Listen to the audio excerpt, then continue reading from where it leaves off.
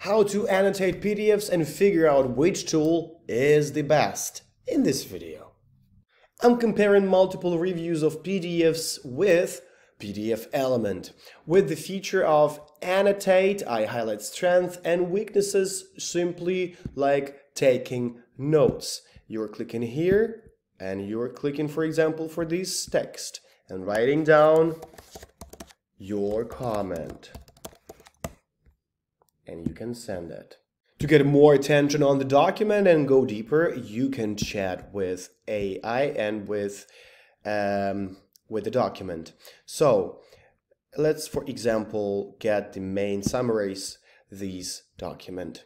And I have all the information about my PDF, the background, research methods, main findings, discussions and analysis, and of course, conclusions.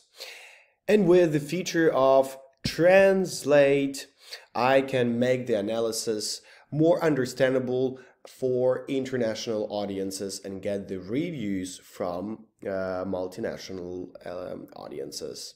What I do is click on AI Translate, Word Translate, and I click uh, on the language that I want to get the translation for.